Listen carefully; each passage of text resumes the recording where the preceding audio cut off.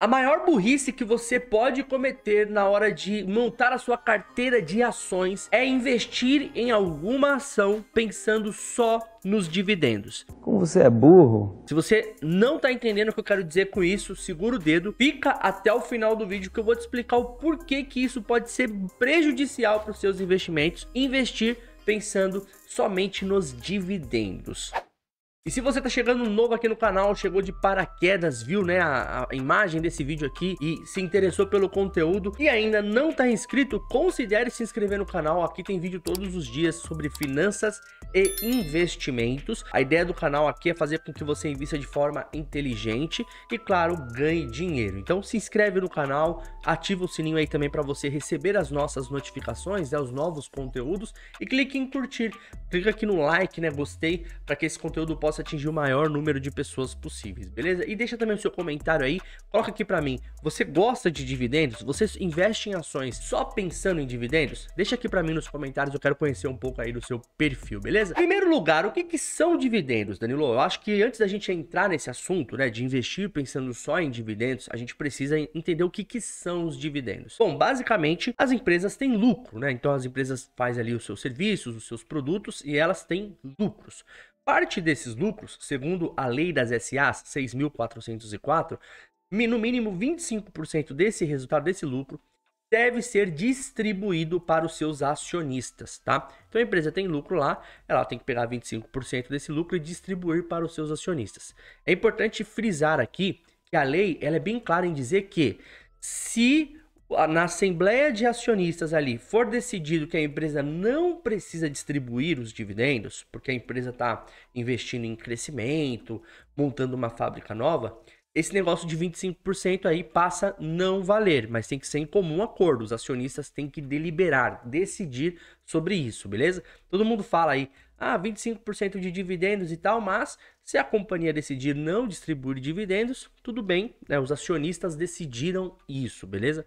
Então, basicamente, dividendo é uma parte do lucro da empresa que ela entrega, dá na mão dos acionistas, tá certo? Só que é, o que, que acontece aqui? Quando a empresa ela decide pegar o dividendo e entregar na mão do acionista, ela deixa de reinvestir nela, tá? E quais são as formas que, a, que existem para a empresa é, reinvestir, né? Para a empresa crescer, né? Então ela precisa de dinheiro. Quais são? De onde ela tira esse dinheiro? Em primeiro lugar, no próprio lucro. Então a empresa está gerando resultado, gerando lucro, ela vai pegar esse lucro e vai reinvestir nela.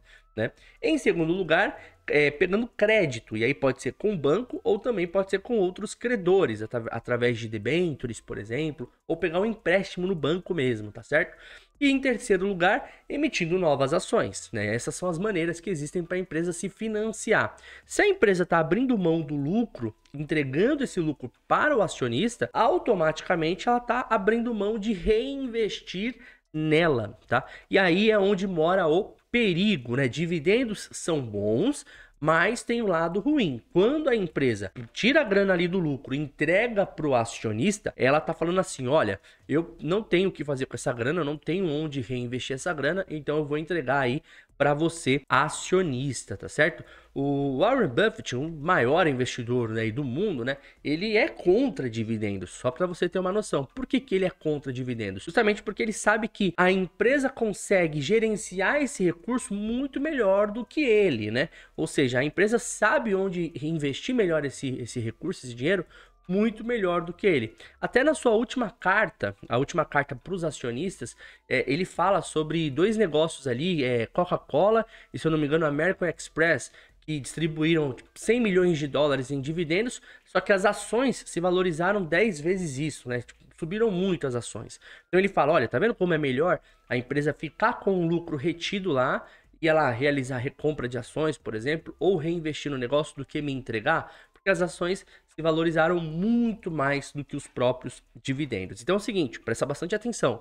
Se você investe em ações pensando só em dividendos, Você está investindo em empresas que automaticamente não pensam em crescer mais ou não tem muito mais para onde crescer, né? São empresas que ela não tem para onde crescer, ela gera lucro, normalmente são líderes do seu mercado e aí ela pega essa parte desse lucro e entrega para os seus acionistas. Basicamente é isso. E aí vai ser sua responsabilidade pegar essa grana e investir num, em algum outro negócio melhor. Mas será que você sabe reinvestir melhor do que a diretoria, o management das empresas? Por isso que é importante, na hora que você for montar uma carteira de investimento, você não olhar somente os dividendos. Olhar somente dividendos pode ser uma tremenda de uma burrice. Qual é o jeito certo, Danilo? Eu tenho um método que eu chamo de DVO. DVO. Esse método eu destrincho ele muito mais com detalhes dentro do meu treinamento. Aliás, as vagas já estão abertas, eu vou deixar o link aqui na descrição do vídeo, no primeiro comentário, formação investidor de primeira viagem, tem lá um módulo de ações. Dentro desse módulo de ações, eu mostro como você deve montar a sua carteira de ações, né? Como você deve configurar a sua carteira de ações. Então, eu vou deixar o link aqui, não esquece de se inscrever, combinado? E o que, que é o método DVO? DVO são, é, são siglas aí, né? Uma, é uma inicial de defesa, valor e oportunidade. Danilo, o que, que é isso? Danilo, é o seguinte, quando você vai montar sua carteira de ações, você precisa selecionar ações que tem um perfil de defesa, que tem um perfil de valor e que tem um perfil de oportunidade. O que, que seria ações que tem um perfil de defesa? São ações de empresas grandes, normalmente líderes nos seus mercados, em setores que já estão super desenvolvidos e que não tem nenhuma mudança substancial para fazer, tá? E é automaticamente uma empresa geradora de caixa e que e que distribui muito dividendo. E aqui tem uma, uma importante observação. Quando você vai olhar dividendo, você não pode olhar somente dividend yield, que é o mais famoso. Tem que olhar também um outro indicador chamado payout. O que é o payout, Danilo? Payout é o tanto de lucro que essa empresa distribui. Então a empresa teve um lucro lá de 100 milhões e ela distribuiu 60 milhões como dividendos, ela está pagando aí 60% de payout. Então do lucro dela, 60% ela está mandando como dividendos, tá certo? Então você também tem que olhar o payout. Vou te dar aqui três exemplos de empresas que têm perfil de defesa. Lembrando que o objetivo desse conteúdo não é te indicar ações, mas é te mostrar como você tem que formatar a sua carteira de ações no momento que você vai investir lá em. É, vai montar né, sua carteira de ações. Três empresas com perfil de defesa: Vivo, Vivit3, então, líder de mercado, está num setor completamente estável, é, não tem muito mais crescimento, ela cresce meio que inflação todos os anos. É, gera muito caixa. Para você ter uma noção, às vezes o payout da Telefônica Brasil, que é a Vivo, é mais de 100%. Aí você fala, como que ela distribui mais do que o lucro dela? Porque ela tinha dinheiro em caixa já. Ela gera muito caixa. As pessoas não deixam de pagar suas contas de celular, de internet, de televisão, tá certo? Então, ela gera muito caixa e tem um payout muito alto. O que, que acontece com isso? Essa é uma ação que sofre menos na bolsa de valores. Sofre também, desvaloriza e tudo mais. Só que em comparação a uma outra ação que tem um perfil mais de oportunidade, essa é uma ação, a V23, que tem um impacto menor. No momento em que a bolsa cai, ela vai agir como uma defesa para o seu portfólio, entende? Então, V23 aí é a primeira ação com perfil de defesa. Segunda ação, Taesa, né? Taesa, distribuidora, distribuidora não, né? Transmissora de energia, gigante transmissora, também paga muito dividendo, tá num setor hiper é, consolidado, cresce a receita aí conforme a inflação também, não tem muito crescimento exponencial e tem um bom payout, uma boa distribuição de dividendos. Então, Taesa também é uma outra ação desse perfil. A terceira ação, Porto Seguro, mesma coisa, é líder no mercado aí de seguros, está num setor já bem consolidado, né, que acompanha a evolução da economia, cresce meio que inflação por ano e distribui bons dividendos também. Mas repare só, dessas três ações que eu falei, qual dessas entregarão um crescimento exponencial para os próximos cinco anos? Nenhuma dessas. Nenhuma dessas ações vão entregar um crescimento exponencial daqui a cinco anos, justamente porque elas já estão no setor hiperestabilizado, tá? Então não tem muito o que crescer, não tem muito o que destravar dessas ações, tá? Então, primeiro perfil, defesa. Segundo perfil que você deve ter no seu portfólio é o perfil de valor. O que, que é o perfil de valor, Danilo? Primeiro lugar, grandes empresas também, normalmente líderes nos seus mercados, só que ou a empresa ou o mercado está passando por um processo de transformação que vai destravar valor para os acionistas. Vou te dar um exemplo dessa empresa, B3. Muitas pessoas criticam a B3. A B3 é a própria bolsa de valores, né? Só que você concorda que ano após ano mais pessoas estão conhecendo o mercado de investimentos, novos influenciadores de finanças estão surgindo, influenciando pessoas a começar a investir. As pessoas criticam os influenciadores de finanças porque tem uns que exagera, né, nos cálculos, né, na, vende cursos absurdos e tudo mais. Só que a, a verdade é que esses caras estão contribuindo para trazer a galera, né, para trazer a galera aí para o mercado de investimento. Essa é a bem da verdade, né? Então, isso vai, no médio e longo prazo, destravar valor para a B3. VEG. A VEG é uma empresa que faz motores elétricos e que tem um, uma vertical lá dentro dela que foca nessa questão de energia renovável, energia eólica, né? Então, uma empresa que tem muitos negócios ali dentro que pode destravar valor para os seus acionistas. Então, empresa de valor é isso. Aquela empresa que é líder no mercado, já é grande, gera caixa, mas que tem, tem alguma coisinha dentro dela ali ou dentro do setor que vai destravar valor para os seus acionistas, tá certo? Terceiro perfil de empresa que você deve ter no portfólio é oportunidade. O que é oportunidade, Danilo? Oportunidade já é uma empresa que ela está passando por um momento completamente de mudança, não está distribuindo lucro, tem um payout de zero ali, não distribui lucro, retém todo o lucro para reinvestir no negócio e isso pode destravar muito valor, tá? Veja só, pode destravar muito valor. Significa que vai destravar, Danilo? Não. Significa que pode destravar. Só que quando essas empresas com perfil de oportunidade destrava valor, meus amigos, é, no livro O Jeito Peter Lynch de Investir, ele fala sobre as 10 bangers, né? Que são empresas que se valorizam até 10 vezes mais. É esse perfil de empresa.